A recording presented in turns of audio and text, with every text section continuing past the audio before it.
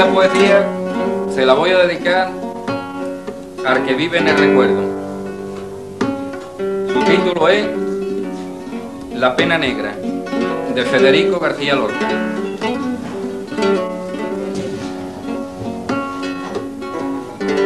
Federico Garcia Lorca, perhaps Spain's greatest poet and dramatist of this century, was executed 50 years ago in the early days of the Spanish Civil War, aged 38. There remain some fragments of black and white film, photographs, Lorca's drawings and writings, but so far no recording of his voice has ever been found.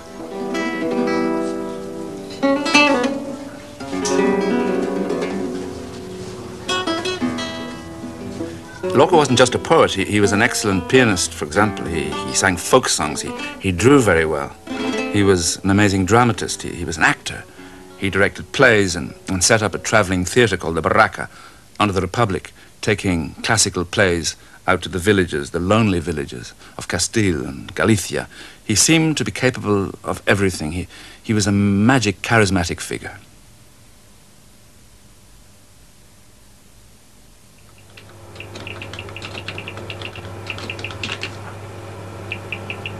Ian, why do you think that you, an Irish writer, became so involved in the life of a Spanish poet? Well, no, I wasn't really an Irish writer when I began to, to work on Lorca. It's working on Lorca that made me an Irish writer. Uh, I went to Lorca, to Granada rather, to write a thesis on, on Lorca. I was already interested in his work. And I went to Granada in Andalusia, where he was born. And I spent the first few months of my time there going out into the Vega, Granada's fertile plain, talking to people in Lorca's village, talking to people down by the rivers in the fields, looking for the sources of his work. But people kept talking to me about his death. And I realized that nobody in Granada had forgotten the horrors of the mass executions that took place in the town. And I remember driving out along this road, I mean, rather frightened because in those days the civil guard still patrolled the road and they're always on the lookout for foreigners snooping and asking about Lorca. Hombre, es fascinante lo que nos está contando. Yo estoy Y contando gente- lo, lo que he Y vivido. la gente, dígame una cosa, que la gente de Biznar dice que en el barranco hay 4.000 muertos. ¿4.000? Que lo digo yo. Pero que lo- ¿cómo puede haber en un sitio que no es tampoco enorme, no tan... No es enorme, pues allí hay mm, 600 y pico metros de fosa. Sí, De fosa. ya. Porque yo los he medido y porque las conozco y porque las he visto antes y después.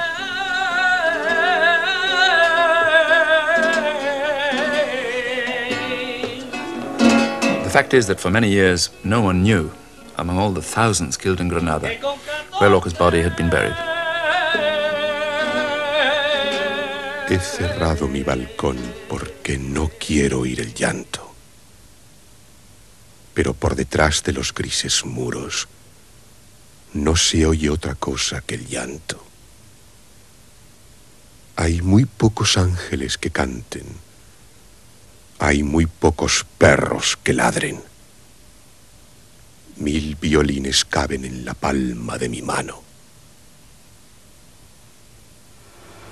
And one day I woke up and I that I was going to write a book on his assassination, on what had happened, not only to him, but to thousands of other people in Granada, and shelved the thesis. The thesis, I might add, is still shelved somewhere there, and uh, what was going to be a thesis became a book.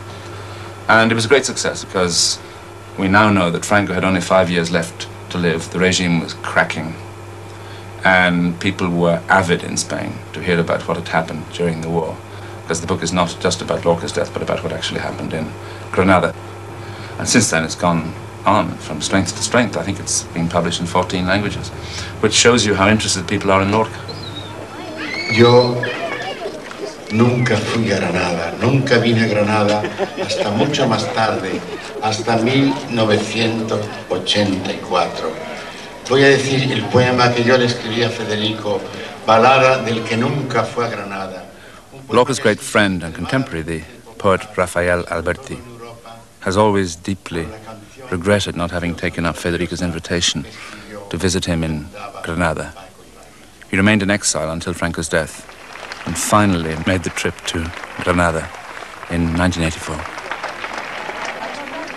Balada del que nunca fue a Granada. Qué lejos por mares, campos y montañas, ya otros soles miran mi cabeza cana. Nunca fui a Granada, mi cabeza cana los años perdidos. Quiero hallar los viejos borrados caminos. Nunca vi Granada, darle un ramo verde de luz a mi mano, una rienda corta y un galope largo Nunca entré en Granada, que gente enemiga puebla sus adarves, que en los claros secos, libres de sus aires, nunca fui a Granada, que en hoy sus jardines aprisiona y pone cadenas al habla de sus surtidores.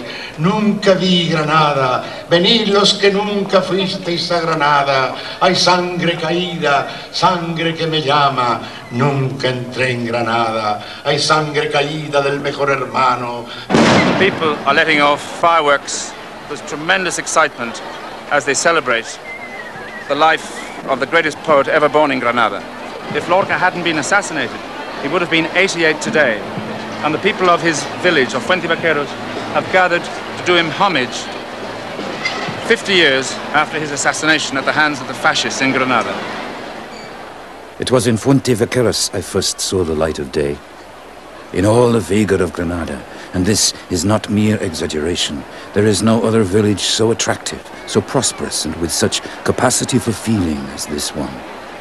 And beyond the stage, there in the corner of the square, is the house where Lorca was born in Fuente Vaqueros on the 5th of June, 1898. He was born into a, a large and privileged family. His father was a wealthy landowner who had made a huge amount of money from sugar beet at the turn of the last century when Spain lost Cuba and there was no longer any cheap sugar flowing into Spain. Federico spent 11 years immersed in the village life of the Vega, and this put him into contact with the ordinary people working on the land, the people of the fields, the farm workers, the peasants, and even with the colony of gypsies who sang deep song, cante jondo, the ancient music of Andalusia. Ay, si sufre, sufre callando y no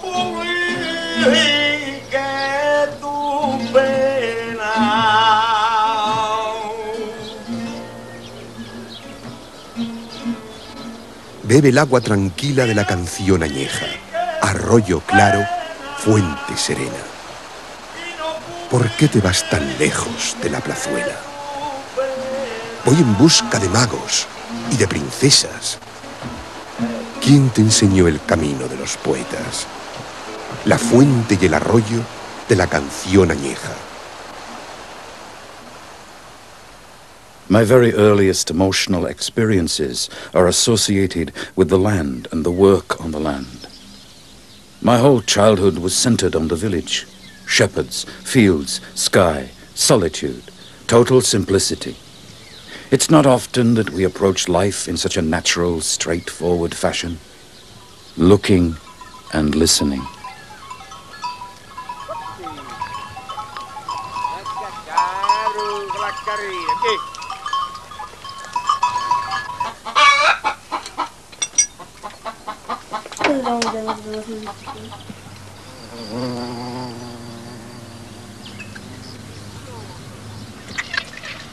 I was a curious child, and I followed our vigorous plough all over the fields. I liked seeing how the huge steel blade could open incisions in the earth and draw forth roots instead of blood. On one occasion, the plough hit something solid and stopped. The shiny steel blade was pulling up a Roman mosaic. So that the first artistic wonder I ever felt was connected with earth, the whole of Andalusia is like a, an archaeological site, composed of layer upon layer of different cultures and civilizations. Lorca knew this and was fascinated by it. And he was living only a few miles away from Granada, the last bastion of Islamic culture in Spain. The contemplative man goes to Granada to be all alone in the breeze of sweet basil, dark moss, and trilling nightingales exhaled by the old hills near that bonfire of saffron, deep grey and blotting paper pink, the walls of the Alhambra. to be alone, to ponder an atmosphere full of difficult voices, in an air so beautiful it is almost like thought. And the civilization that produced the Alhambra was destroyed by the Christians in 1492. It was a terrible moment, though they teach just the opposite in the schools. An admirable civilization was lost, with poetry, astronomy, architecture, and delicacy unequaled anywhere in the world, in order to make way for a poor, cowardly, tight-fisted city, stirred up at present by the worst bourgeoisie in all Spain. حي على الفلاح.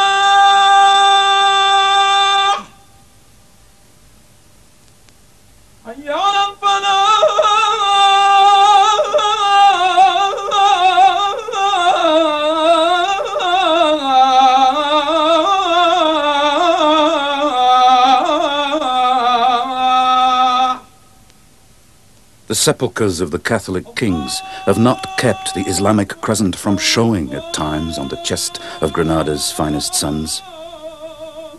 The dark struggle continues without being expressed. On the Colina Roja are two dead palaces, the Alhambra and the Palace of Carlos V, which continue to fight the fatal duel throbbing in the heart of every Granadan. Mas la granada es la sangre, sangre del cielo sagrado, sangre de la tierra herida por la aguja del regato, sangre del viento que viene del rudo monte arañado. La granada es la prehistoria de la sangre que llevamos, la idea de sangre encerrada en glóbulo duro y agrio que tiene una vaga forma de corazón y de cráneo.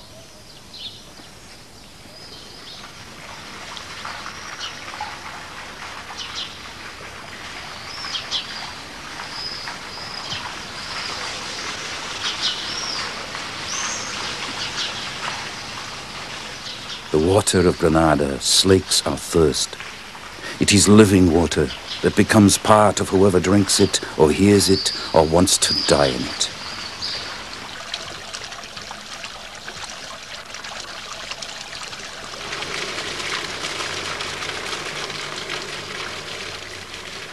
Mi corazón reposa junto a la fuente fría.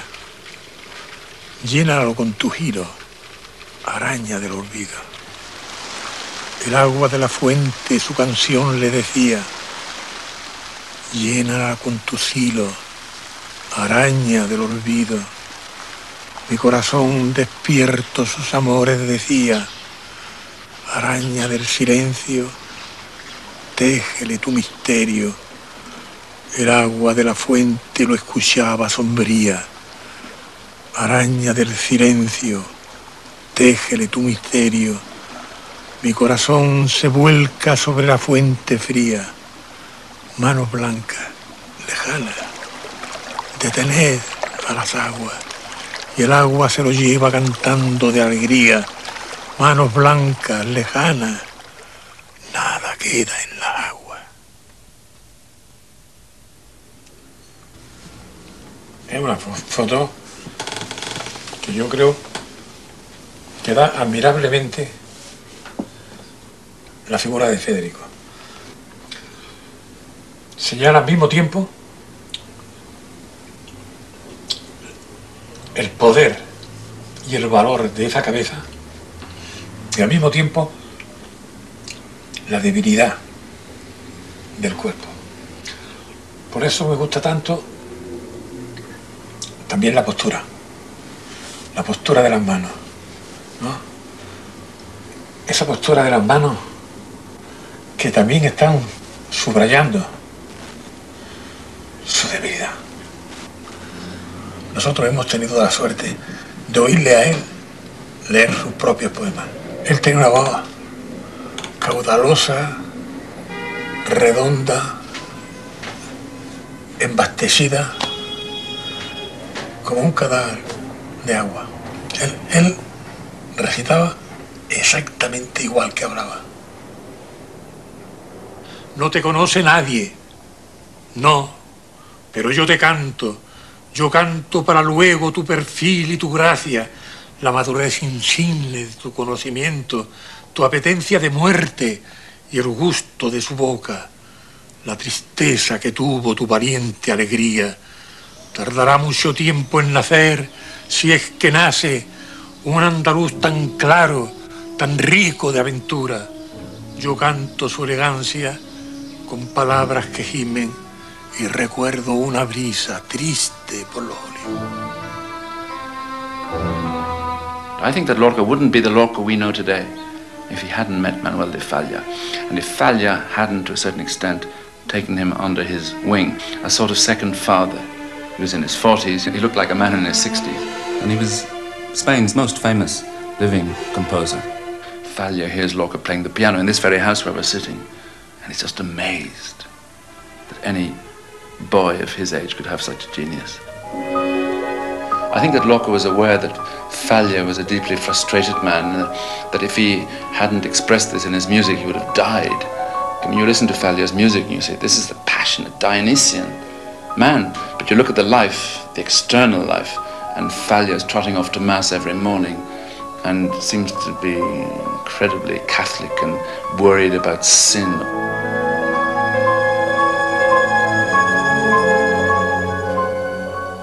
When Falla heard that Lorca, his friend, whom he admired so much, whom he loved so much, had been arrested and was in danger, he went down to the town to talk to the civil governor and to intercede on Lorca's behalf. And they say that when he arrived there, he went in and asked. They told him that Lorca had already been shot, that he came out weeping.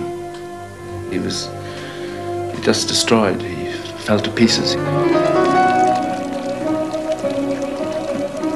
In Nights in the Gardens of Spain, which I think is probably the piece of music by Falla most well known, there are several folk songs which are re-elaborated by the composer to produce this new music.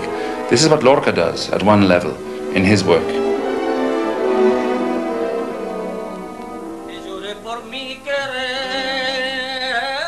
I think that what Falla taught him more than anything was to look at the Andalusian tradition, to realize that he himself had this tradition in his blood. That for me is the, is the amazing consequence of their friendship. que lloré por mi.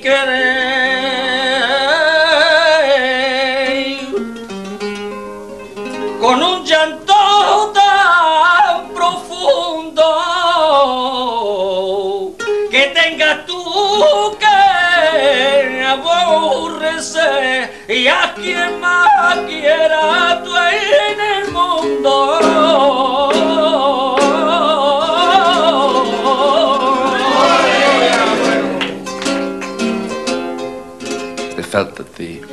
Pure essence of Cantejondo, or deep song, was being lost.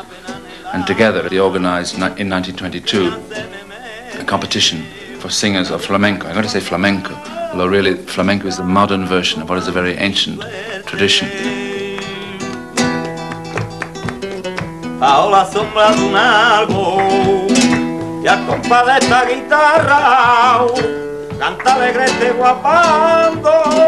Bajo la sombra de un árbol y a compás de esta guitarra canta alegre este guapando porque la vida se acaba y no quiero muy ensoñando como muere la cigarra. The maestro Manuel de Falla, pride of Spain and soul of this festival, declares that Cantejondo is perhaps the only form of song on our continent that has preserved in all its purity, both structural and stylistic, the most important characteristics of the primitive song of Oriental peoples. We are indebted to the gypsies for building these lyrical channels through which all the pain, all the ritual gestures of the race can escape.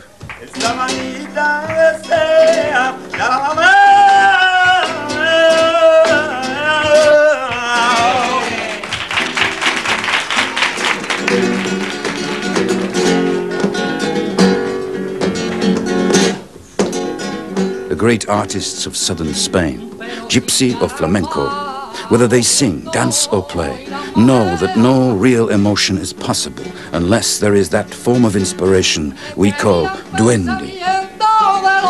Duende is not in the throat. Duende surges up from the soles of the feet. which means that it is not a matter of ability, but of real, living form. Y yo sirvo a la paz y a la primavera y a la libertad. La un día. Tú eres amarillo y yo. Tú sirves yo sirvo a la paz y a la primavera y a la libertad. La un día. Tú eres amarillo y yo. The true poems of deep song belong to no one.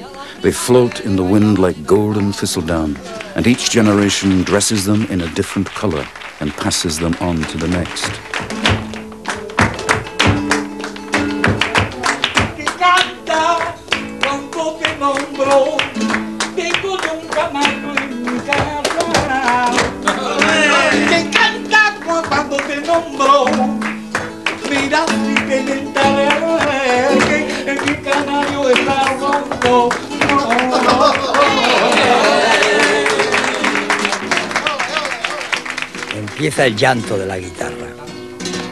Se rompe las copas de la madrugada. Empieza el llanto de la guitarra. Llora por cosas lejanas. Arena del sur caliente pide camelias blancas. Llora flecha sin blanco, la tarde sin mañana y el primer pájaro muerto sobre la rama. Corazón mal herido por cinco espadas. La Guitarra is from a sequence of poems inspired directly by Cantejondo, by deep song. And the culmination of this interest was the Gypsy Ballads, the Romancero Gitano, published in 1928, which is certainly Lorca's most famous book of poems. They're tapping a traditional source, but adding elements that derive from the 20th century. And Spaniards listening to these ballads recited grasped immediately that these are traditional poems with a modern flavor. Las piquetas de los gallos vienen cavando la aurora. Cuando por el monte oscuro baja Soledad Montoya. Cobre amarillo su carne, huele a caballos y a sombra. Yunques ahumados sus pechos, gimen canciones redondas. Soledad, ¿por quién pregunta? Se acompaña ya a estas horas.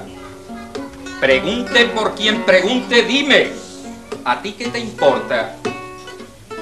Vengo a buscar lo que busco, mi alegría y mi persona. Soledad de mis pesares, caballo que se desboca, al fin encuentra la mar y se lo tragan las olas. No me recuerdes la mar, que la pena negra brota en las tierras de aceituna entre rumor de las hojas.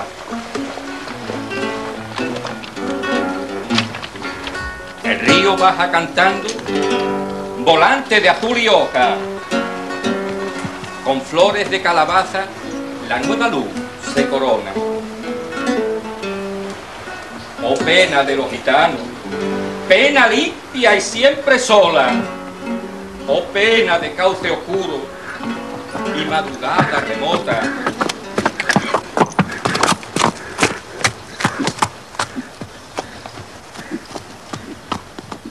He loved the earth, the mountains, and the rivers, and his imagery draws its strength from observed reality.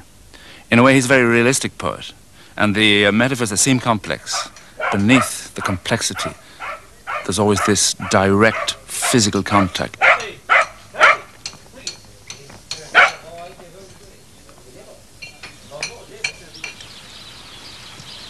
Right now, I'm in the Huerta de San Vicente, in the plain of Granada. There is so much jasmine and nightshade in the garden that every morning we all wake up with lyrical headaches. And yet, nothing is excessive. That's the amazing thing about Andalusia. The Huerta de San Vicente, St. Vincent's orchard, was the Lorca's summer residence. In those days, before the war, the Huerta was on the outskirts of Granada. So when you looked from here up towards the town, the, gra- the ground gradually rose and rose until you could see at the end the Alhambra and the Generalife. Now, of course, these wretched capitalists have thrown up this appalling row of tall blocks of houses. he was a poet, which is a disgraceful thing to be in a Granadine bourgeois setting. And you know, he, he very badly wanted to be a professional musician. And the family was opposed to that. His parents thought that his, their children should have university careers, the careers that they hadn't had, and they insisted that Lorca should have a university career. So he eventually finishes his law degree with the help of several benevolent professors. People say that his father only understood in 1933 just how brilliant his son was when Lorca sent a, a check from Buenos Aires when his plays were a great success and he sent a huge check to his father. His father opened the check and said, Hombre, el niño, el niño vale mucho. My boy is doing well. But I suspect they didn't really, really understand who Federico was.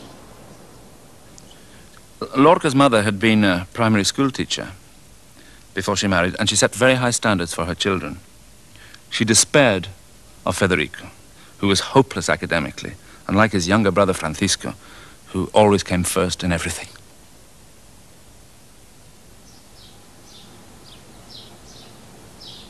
They were all musicians. There were wonderful people in the family, people who could play the piano without ever having learnt to play the piano, people who could play musical instruments, people who could recite poetry, invent poems.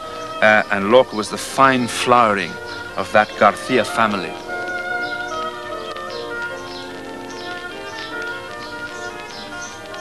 This is Lorca's bedroom, and it's where he where he wrote.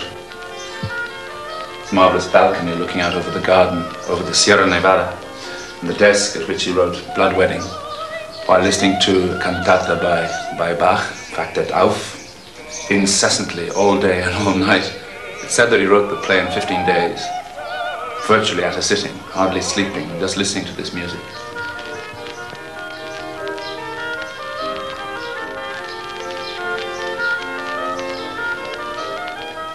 I must tell you that I hate the organ, the lyre, and the flute. I love the human voice. I'm amazed when I consider that the emotion of composers like Bach is based on and sustained by a perfect mathematics.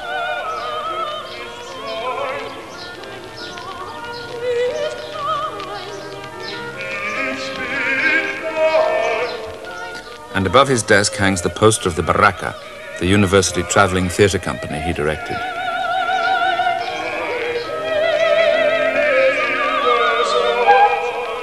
Course, the Barraca was set up by the Republic. And when the idea arose to, to take plays to villages where no theatre had ever been seen, Lorca was then thought of as a potential director of the theatre, and of course it appealed to him greatly, the idea of taking plays and setting up theatres in the marketplaces of ancient Spain as part of the Republic's program to educate people who had never been educated and who had never had the opportunity to see plays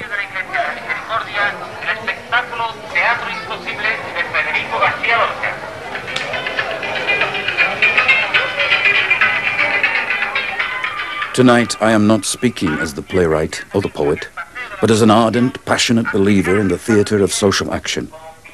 The theatre is one of the most expressive and useful instruments for building up a country. It is the barometer of its greatness or decline.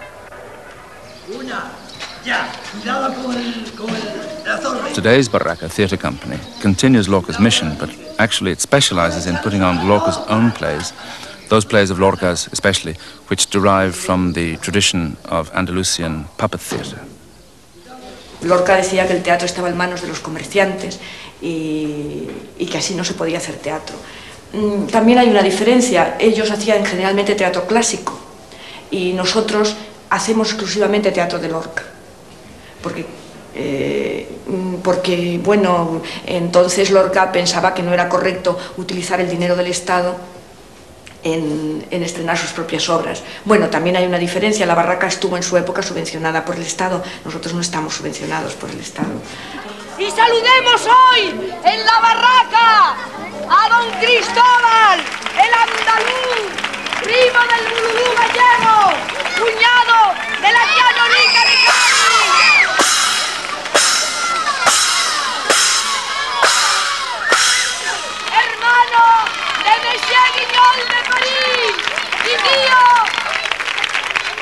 El retablillo de Don Cristóbal es una obra que hacemos en realidad para los niños, pero también para todos los públicos.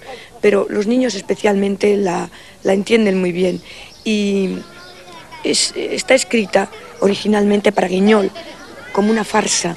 Y, y queremos conservar un estilo muy inocente, muy ingenuo, como el teatro que Federico hacía cuando era niño, que eh, hacía Guiñol en, en su casa, en el jardín, con sus primas. Lo mismo ¡Ay, qué jamoncitos tiene por delante y por detrás! What about his school days? Were they happy? Yeah, I think that other people felt that he was marvelously happy, but in some of the early poems, he says, for example, there's one poem called Balada Triste, a sad ballad. In the poem, he addresses himself to these children, and he says, Yo siempre fui intranquilo, niños buenos del Prado. I was always uneasy as a child. Lorca was capable of uh, immense happiness, but beneath that, there was a tragic sense of life.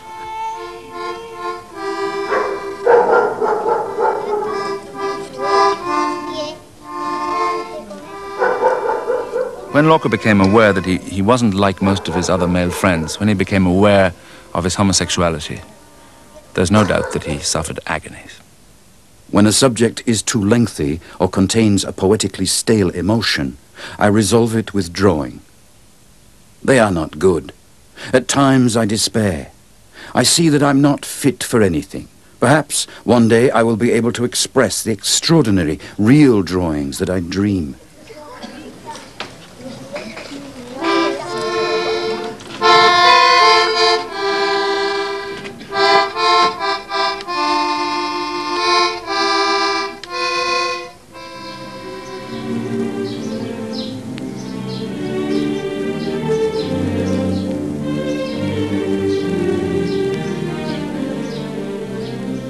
Over his bed, he had a painting of the Virgin of the Seven Sorrows.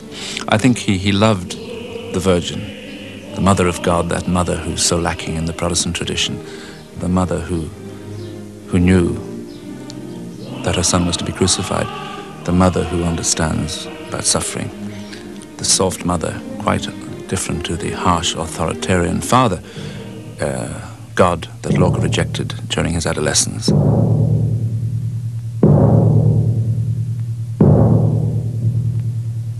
Lorca never lost his childhood love of the rituals and ceremonies of the Catholic Church, and you've only got to see a, a Holy Week procession to understand why. For him, it was pure theatre. And of course, he was also intrigued by the sexual ambiguity of many of the Church's saints and martyrs. San Miguel, lleno de encajes en la alcoba de tu torre, enseña sus bellos muslos ceñidos por los faroles. San Miguel canta en los vidrios, efebo de tres mil noches, fragante de agua colonia y lejano de las flores. One of Lorca's early biographers, who knew him very well, Marcelle Auclair, she said that the greatest cross that Federico had to bear in life was to hide from his mother the fact of his homosexuality. I too am accustomed to suffer for things that people don't understand or suspect. Between one person and another, there are spider threads that little by little turn into wires and even bars of steel. When death separates us, there remains a bloody wound in the place of each thread. Porque duermes solo, pastor. Porque duermes solo, pastor.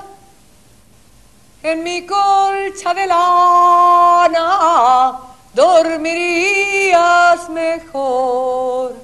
Frustration, erotic frustration, people searching for their identity, unable to find it. All these characters in Lorca who are searching for love and never find it. I mean, I could give you a catalogue beginning in the early poems, running right through Doña Rosita, uh, the characters in Blood Wedding, and Yerma, Yerma herself. Tu colcha de oscura piedra, pastor. Tu camisa de escarcha, pastor. Juncos grises del invierno, la noche de tu cama. Los robles ponen agujas, pastor. Debajo de tu almohada, Pastor. Y si oyes voz de mujer es la rota voz del agua. Pastor, pastor, ¿qué quiere el monte de ti, pastor? Monte de hierbas amargas, ¿qué niño te está matando? La espina de la retama. But I think the women in Lorca who tend to be the protagonists of his work, they're real women of flesh and blood. They're not just uh, homosexuals masked as women. But I think that Lorca's predicament as a homosexual in that terribly intolerant society uh, helped him to understand the sufferings of other people, and particularly, particularly of Spanish women. Para vivir en paz se necesita estar tranquilo. ¿Y tú no lo estás? No lo estoy. Desvía la intención. Es que no conoces mi modo de ser. Las ovejas en el redil y las mujeres en su casa. Tú sales demasiado. ¿No me has oído decir esto siempre? Justo. Las mujeres dentro de sus casas cuando las casas no son tumbas. Cuando las sillas se rompen y las sábanas de hilo se gastan con el uso. Pero aquí no. Cada noche cuando me acuesto encuentro mi cama más nueva, más reluciente, como si estuviera recién traída de la ciudad. Tú misma reconoces que debo razonarte. Que tengo motivos para estar alerta. ¿Alerta de qué? En nada te ofendo. Vivo sumisa a ti, lo que sufro lo guardo pegado a mis carnes. Y cada día que pase será peor. Is there something in the theme of Yerma which was perceived as attacking Spanish society? You know, another poet, Antonio Machado, said there are two Spains, huh? like that, completely separate and enemies. And Yerma, just this beautiful poem about a woman who don't have a baby, who can't have a baby, was so such a provocation for this Spain black and terrible that even during the life of Lorca he was very, very hated, very. In all his plays there is a strong felt of freedom and justice and and sexuality, all the very dangerous things. ¡Ay! ¡Qué prado de pena! ¡Ay! ¡Qué puerta cerrada la hermosura! Que pido un hijo que sufrir. Y el aire me ofrece dalias de dormida luna.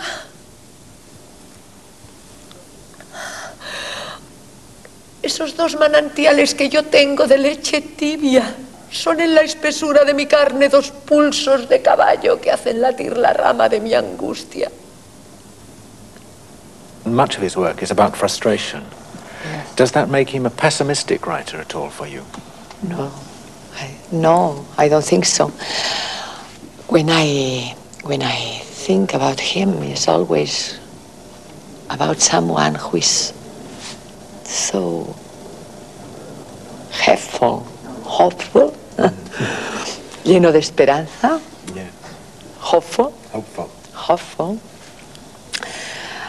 with uh, humor and love for the people, with a kind of laughing regard about all of us. He's also a very passionate writer. Is that something that appeals to you as a performer? Yes, too, too.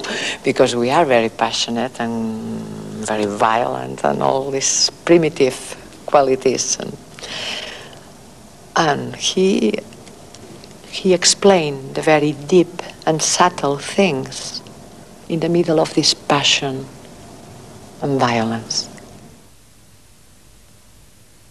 Lorca felt stifled in Granada, which was a narrow-minded city, and when he was 21, he managed to escape to Madrid. And in Madrid, the capital, he immediately felt at home. He came into contact with a wide range of new people, exciting people from, from the Spanish provinces and from Europe. And he lived at the Residencia de Estudiantes, the students' residence, famous students' residence, which was the nearest thing in Spain to an Oxbridge College. Here's another wretched car.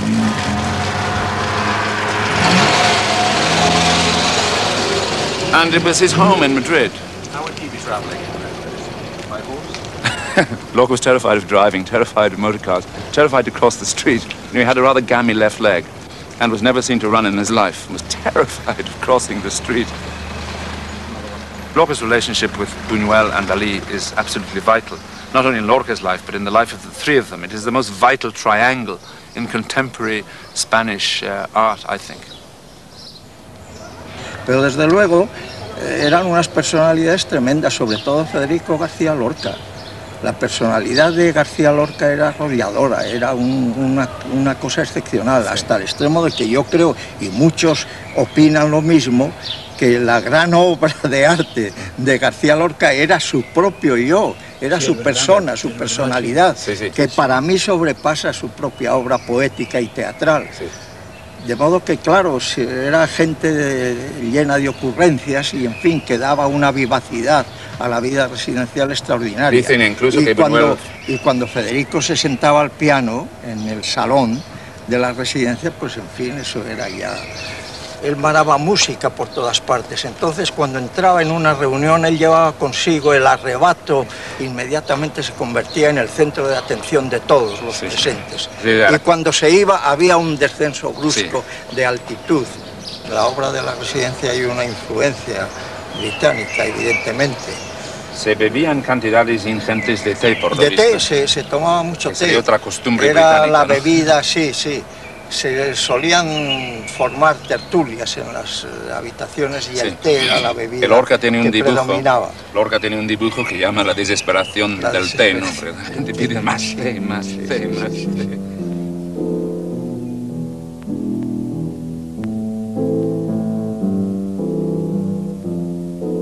Each day I appreciate Dali's talent even more.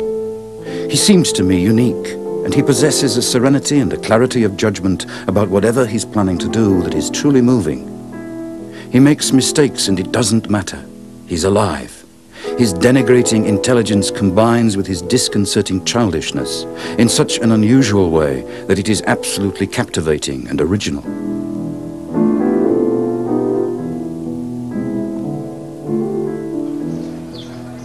Quizá conviene más acentuar lo que hay en la relación entre dos jóvenes con una vocación tan intensa como sintieron los dos y que llegará a tener valores recíprocos, de tal manera que Dalí va a hacer poesía y Federico va a hacer, a dibujar y a pintar. En todos esos años quedan los dos solos, la relación es constante. Y son muy frecuentes la proyección de la imagen de Federico en, en la pintura y los dibujos de Dalí. Es, es el mismo Federico y la sombra de Federico, que eso nos permite identificar las muchas otras ocasiones en que aparece una sombra de rostro de estructura cuadrada que es la de Federico. Ahora bien, yo quiero llamar la atención sobre el hecho de que está con los ojos cerrados. Duerme, está muerto, por una cosa que cuenta Dalí que es muy interesante en la residencia. Dice que Federico al irse a acostar cada noche, antes a los amigos les representaba su muerte y su entierro en Granada. Iba sí, sí. explicando, iba explicando que moría en la cama, que lo desnudaban, que le ponían el sudario, que lo metían en el ataúd y todos ellos aterrorizándose, aterrorizados, porque claro, es que él narraba, era un actor extraordinario. Y cuando los tenía bien aterrorizados, daba un salto de alegría, reía y se iba y dormía como un santo, Sí, sí. porque había descargado en los demás el terror a la muerte, Claro, había- se había liberado pasando. Y esto es lo que pinta siempre eh, Salvador Dalí.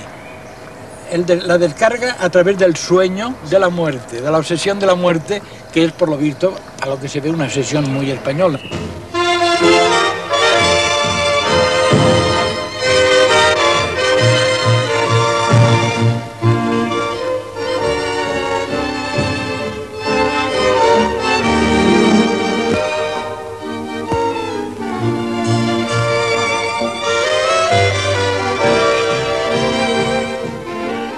No doubt that Buñuel was responsible for weaning Dali away from Lorca.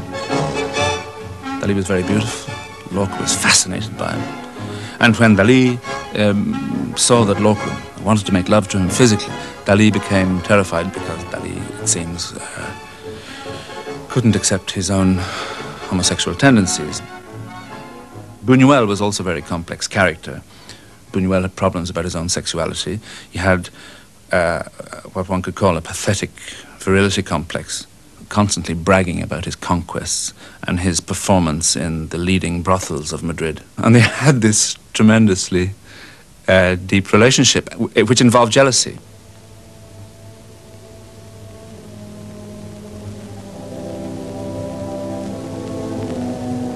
Un chien andalou, an Andalusian dog, was made in 1929. This was at a point when Dali had moved to Paris and Buñuel was constantly criticizing Lorca in letters to other friends. Lorca himself believed that Dali and Buñuel had him very much to the forefront of their minds when they made the film and said to somebody in America, you know, Buñuel and Dali have made a little shit of a film, which I appear.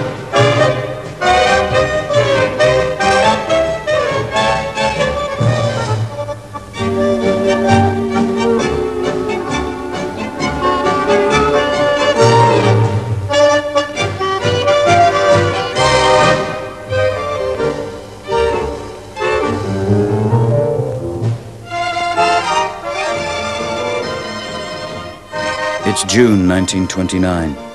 I'm leaving Granada for Madrid, and from there to Paris, London, and then to New York. New York seems horrible, but for that very reason I'm going there. I am very well, with a new restlessness about the world and my future. The two elements that first strike the traveler in the big city are extra-human architecture and furious rhythm geometry, and anguish. The terrible, cold, cruel part is Wall Street. Rivers of gold flow from all over the earth, and death comes with it. There, as nowhere else, you feel a total absence of the spirit. I was lucky enough to see with my own eyes the recent crash where they lost various billions of dollars, a rabble of dead money that slid into the sea, and never as then, amid suicides, hysteria, and groups of fainters, have I felt the sensation of real death. Death without hope, death that is nothing but rottenness, for the spectacle was terrifying, but devoid of greatness.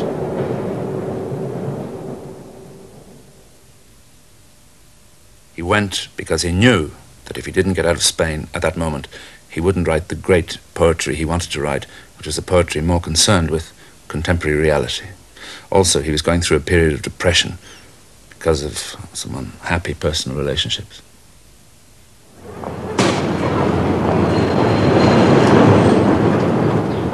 Todos los días se matan en New York. Cuatro millones de patos, cinco millones de cerdos, dos mil palomas para el gusto de los agonizantes, un millón de vacas, un millón de corderos y dos millones de gallos que dejan los cielos hechos añicos. Yo denuncio a toda la gente que ignora la otra mitad.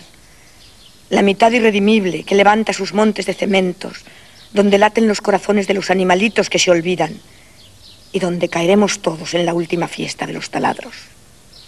No, no, no, no. Yo denuncio. Yo denuncio la conjura de estas desiertas oficinas que no radian las agonías, que borran los programas de la selva, y me ofrezco a ser comido por las vacas estrujadas cuando sus gritos llenan el valle donde el Hudson se emborracha con aceite.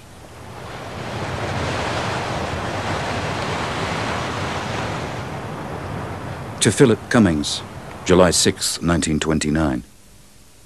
My dear friend, I was overjoyed to receive your letter.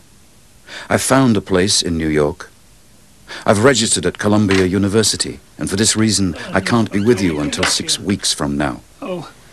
You, by the way, notice this? This was my permit to go into the Royal Palace grounds when I was living in Spain under that fellowship. I loved that. I could go everywhere. In fact, I walked with the Pope there, not the present one, two or three popes ago. This is the only book I have of the ones I used to have several of that Lorca gave me when he was here and in his lifetime and in Eden. Oh, that's beautiful. This is his Romancero Gitano, his gypsy ballads. Can I read it? A mi queridísimo amigo Felipe, my dear friend Felipe, con un abrazo estrecho, a firm embrace de su siempre amigo, his friend of always, Federico, 1929.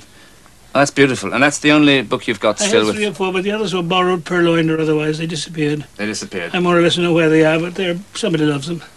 That's beautiful. Well, I'm very envious of them. I want to take you a record, but I have to go in the, uh, another room to play the record because it's 78, of course. Where is it? In here? Yes, I'll get it. I'll just get out of your way for a second.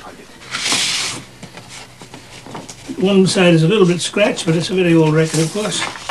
This is the record with Lorca playing the piano. Yes. And Argentinita singing. It's approximately 55 years old, of course.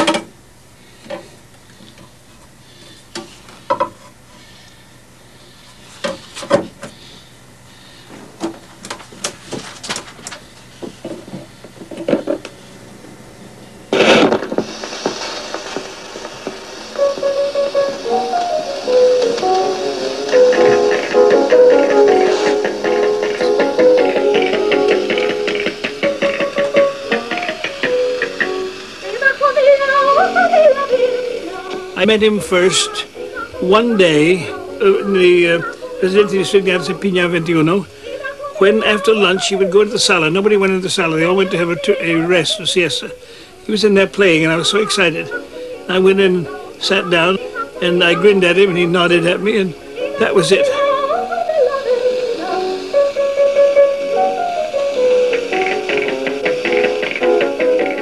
But he has a, a, a marvelous control. He has a beautiful control. Yes. And she does the castanets better than she does the singing. I found my old passport.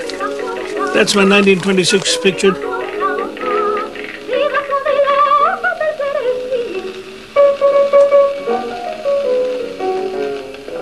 So when he came to me, my father couldn't speak a word of Spanish to him, and he couldn't speak English, but we grinned and got into the Model T and drove up to Lake Eden. And he just was so glad to see the country. The country said, sin casas, no houses, No houses. no people, nothing. The Lorca is very formally dressed, isn't he, compared to you? Didn't he bring any more sort of loose-fitting? Not much, just the sweater. It's very much an English jersey, isn't it? De- but definitely bought in Oxford. Oh, definitely, very handsome. And he obviously took to your mother very quickly. She got along took very well him. together. But they met over the common donut pail. She made him fresh donuts and he loved them. He said he was going to bring me a poem, a book of poems. He brought it. Mhm. I said, Federico, it's wonderful. They've got to be put into English. She said, I can't. She said, you do it. Well, my father had an old Oliver typewriter, and I sat down and went to work on it. I still type with type, two fingers ineffectively. But uh, we would argue. We'd argue right after breakfast, maybe with a big pot of tea or coffee or something. And we would argue about it. And while he wouldn't understand the exact English word, he knew the nuance. And I would translate what I thought of it. We had some quite fierce arguments for a while. And then uh, we would come to what he thought and I thought was a satisfactory result. That's why the Canciones mean so much to me, because it's a book which was published after we had translated it right with the poet sitting there. Cuando sale la luna de cien rostros iguales, la moneda de plata solloza en el bolsillo. That was very difficult for me to understand at first. And when the moon goes out with a hundred equal faces, the money of silver sobs in the pockets, which is fantastic. Because then the moon goes out, it has been obliterated totally with the great clouds, and everything now has become complete darkness, a, a velouté, the French would say, a velvety darkness. Then uh, everything looks alike. All the sounds are muffled into one common sound. Yeah, and the next the next verse is, is tremendous as a, When the an moon image of goes out, the sea covers the earth. The heart feels itself an island in infinity. The landscape of Vermont is marvelous, but infinitely melancholy. It never stops raining. The family is very nice, full of gentle charm, but the woods and lakes immerse me in an almost unbearable state of poetic despair. He was so impressed with the deep stillness of it. Hmm. He always said to me, Mi duende tiene siempre el agua. My fate has water in it. Bird is now a protected bird. It's a very much of a haunted cry. But it's a lonely cry. And the loneliness of the loon reached right to him very clearly because he was feeling lonely about many things. I never could quite encompass all the things he was lonely about. When he came to see you, he had already begun to write some poems of Negro inspiration. The King of Harlem had already been written. So he did, in a sense, find a subject before he came to Vermont. Well, I think you have to realize something else is very important about that in Harlem. He was not interested in the Negro question as we have it in America. He was interested in this as a people apart. And he was thinking of those people in Spain, such as you wrote of in the Casa Maria uh, uh, Alba, I mean, all of those, the people who are depressed, Yes. either pushed down by the Guardia Civilis or oppressed by an overdominant church. And he was, he was another people who pushed. He felt a kinship. And he was interested in them as symbols more than as actual. He was not real interested. In, the- he was not interested in the socialism of it, hmm. political socialism. He was in the compassionate socialism, human rights we call it today. Many mornings I used to walk down from the university where I lived, changing from the frightful Mr. Lorca of my professors into the strange, sleepy boy of the waitresses. And wanting to find out what they were thinking, I watched the blacks dance, for dance is the most unique and poignant expression of their feelings and pain.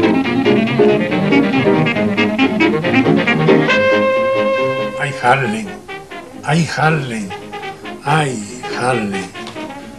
No hay angustia comparable a tus rojos oprimidos, a tu sangre estremecida dentro del eclipse oscuro, a tu violencia granate sordomuda en la penumbra, a tu gran rey prisionero con un traje de conserje. Es curioso porque una de las grandes sorpresas que indudablemente tuvo Federico al llegar a fue el conocimiento, la toma de contacto con el mundo negro. El mundo negro con todo lo, lo que llevaba el mundo negro ¿no? Consigo. Y que hablaba, dice, los negros lloraban confundidos entre paraguas y soles de oro. Los mulatos estiraban gomas, ansiosos de llegar al torso blanco, y el viento empañaba espejos y quebraba las venas de los bailarines. Negro, negro, negro.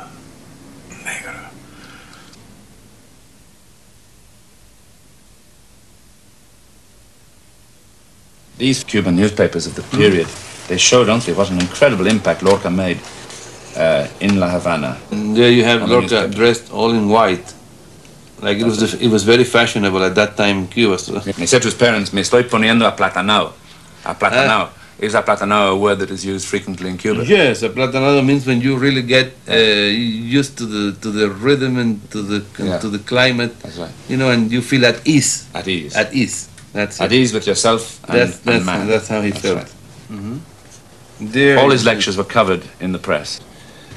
I remember when I was a student, one of the important uh, matters that was given to me was about Cante Jondo, and it was Federico's lecture what they they gave us to, to, to learn about Cante Jondo. Oh, really? Yes. Cante Jondo for us was not only an academic or poetic lecture. He was talking to us about something that we had as well, exactly. in a different way.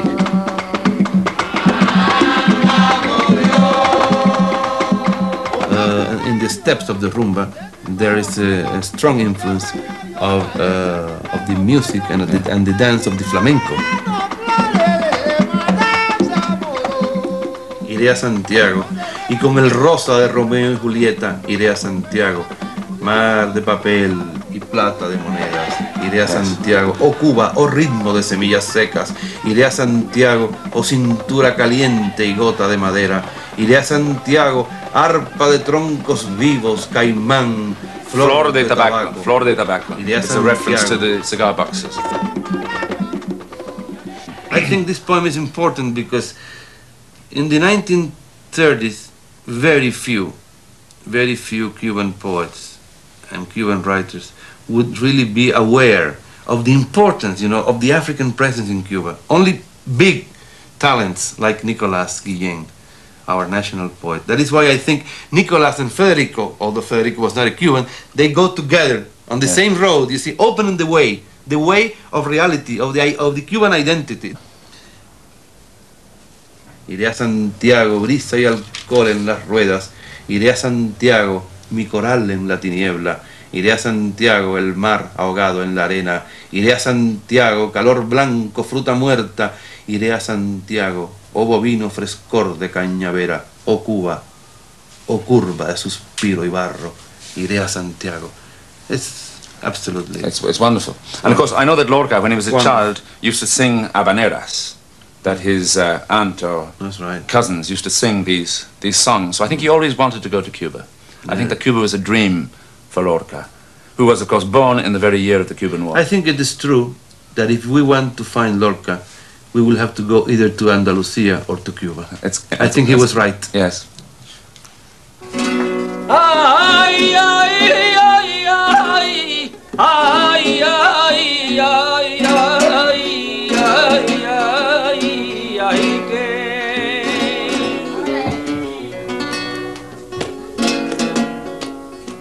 Spain is always moved by the duende, being a country of ancient music and dance. We are also a nation of death, a nation open to death. Viva mala, haga la bella y tierra de tanta alegría. In every country, death has finality. It arrives and the blinds are drawn. Not in Spain. In Spain, they are lifted. Many Spaniards live between walls until the day they die, when they are taken out into the sun. A dead person in Spain is more alive when dead than is the case anywhere else. His profile cuts like the edge of a barber's razor.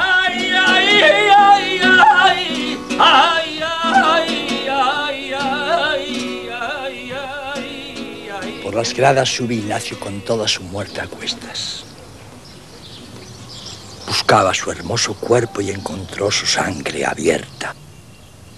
It is in bullfighting that the duende attains its most impressive character, because on the one hand it has to fight with death, which may bring destruction, and on the other with geometry, the fundamental basic measure of the spectacle. The bull has its orbit, the bullfighter his, and between orbit and orbit there exists a point of danger where lies the apex of the terrible game.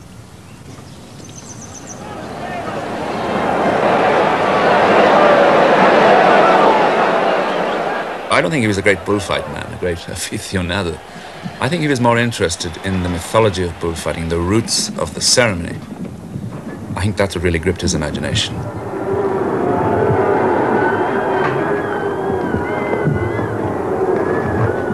He was horrified when his great friend Ignacio Sanchez Mejias was gored to death in 1934.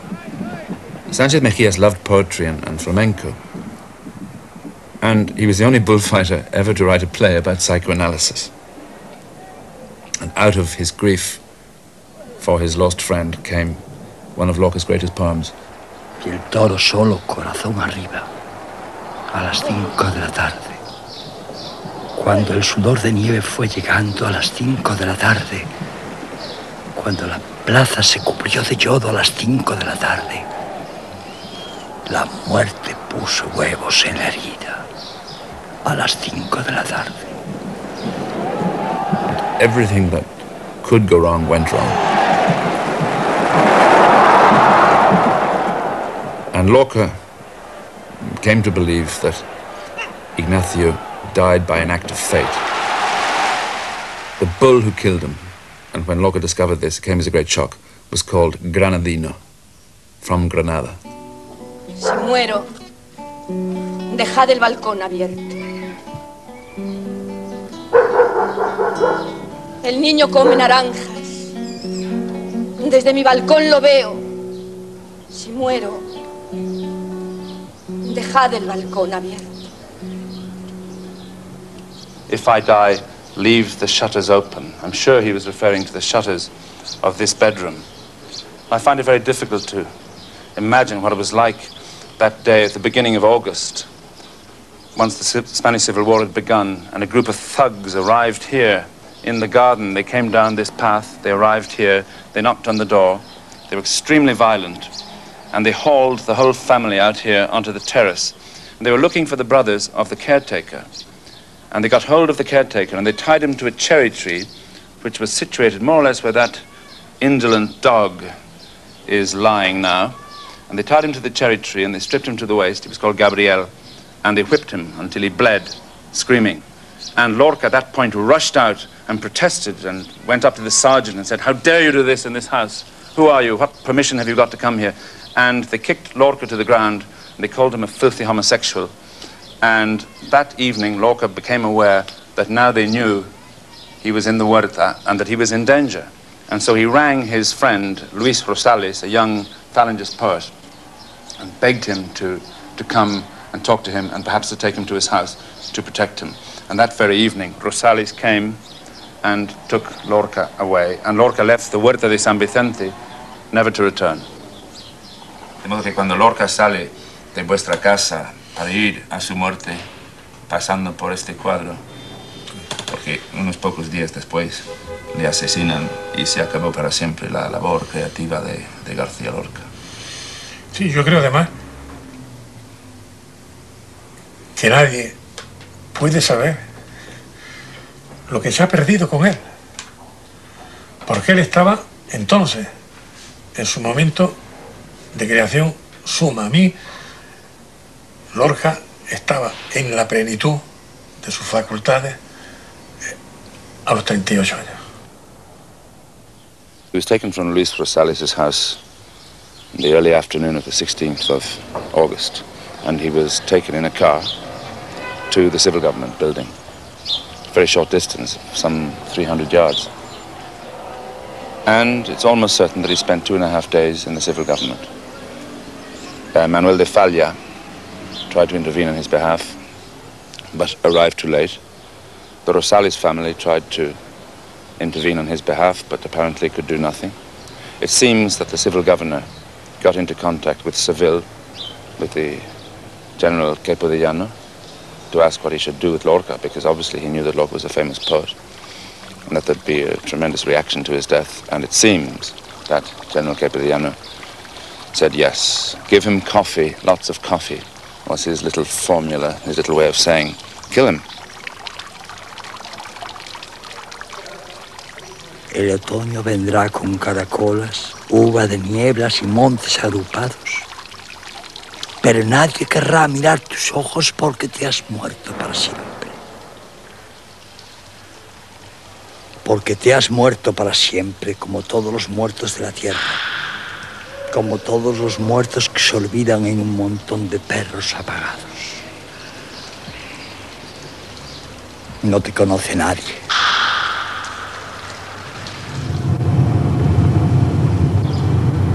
Cuando se hundieron las formas puras, bajo el cri-cri de las margaritas, comprendí que me habían asesinado. Recorrieron los cafés y los cementerios y las iglesias. Abrieron los toneles y los armarios. Destrozaron tres esqueletos para arrancar sus dientes de oro.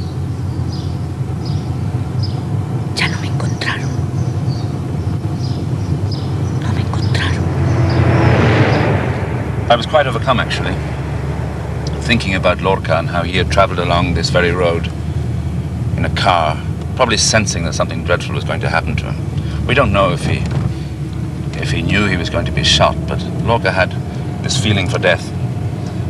We've got to imagine that this was very dark. It would have been two or three in the morning. Vamos a callarnos. Yo sabré llevar mi cruz como mejor pueda, pero no me preguntes nada. Pudiera de pronto volverme vieja y tuviera la boca como una flor machacada, te podría sonreír y conllevar la vida contigo. Ahora. Ahora déjame con mis clavos. Lorca was greatly, greatly hated, you know, by the right wing in Granada. They disliked his work, particularly the play Yerma, which seemed to them to be an attack on traditionalist Catholic values. Also, he had the wrong friends. He was homosexual. And they didn't like his father either, because his father was a rich landowner who was very good to the people working on his farms. Helped them, built houses for them. Very generous man. And I think that they also, they also wanted to punish the father by killing the son. I think in in those circumstances, in those days when people were either right or left, the issue seemed very clear cut. Lorca was anti fascist. And he had sided with the Popular Front government, although he was never a member of a political party. The car pulled into the little square of Víznar and stopped in front of the gates to the palace built here in the 18th century. And at the beginning of the war, it became Falangist headquarters for this area of the province.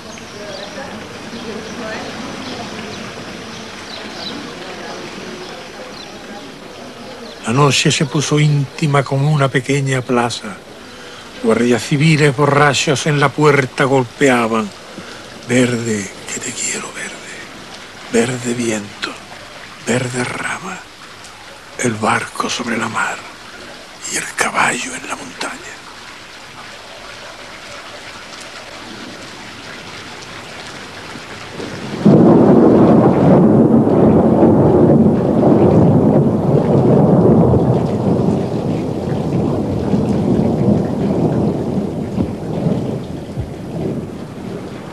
Lorca was taken across the valley out there to his death from the Colonia.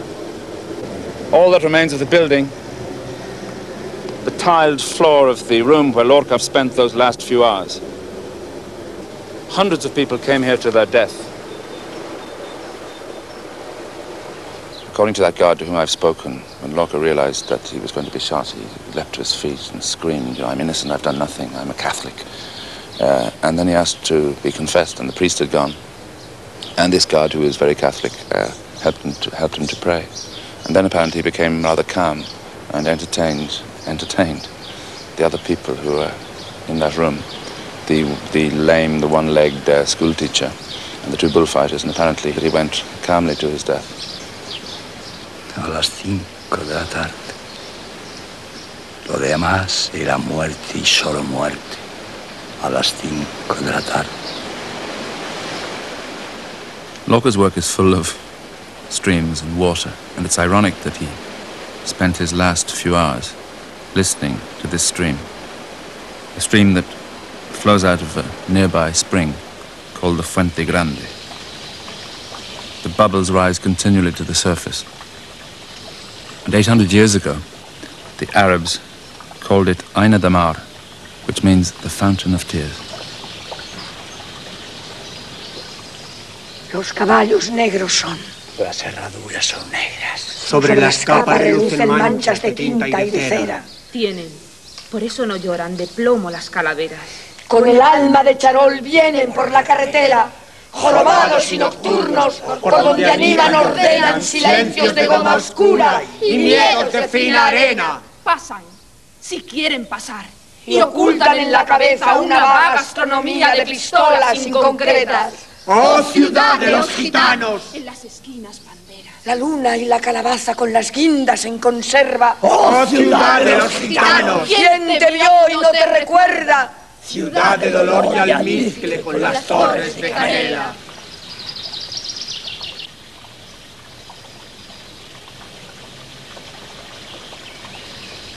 We are Mounties! Come river or blizzard.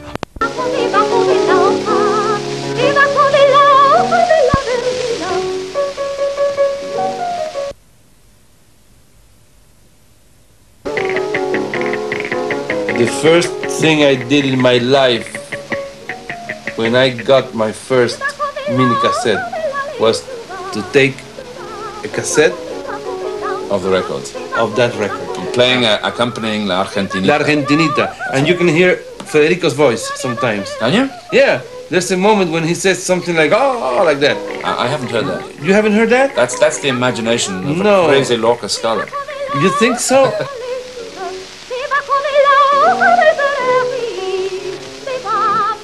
Everybody says that he gave himself fully to the friendship of the moment. He has many friends also who never met him Mm-hmm. because we never met him and we love him. We could have been perhaps very good friends of him. Yes. I, I'm sure I, I could have been a very close friend to Lorca. and you too? Yes, I'm not so sure about myself. No? No, I think you Well. would have found me a bit uh, academic, bit, bit, bit academic, Oh, perhaps, no, and a bit on. rough, bit Irish. Well,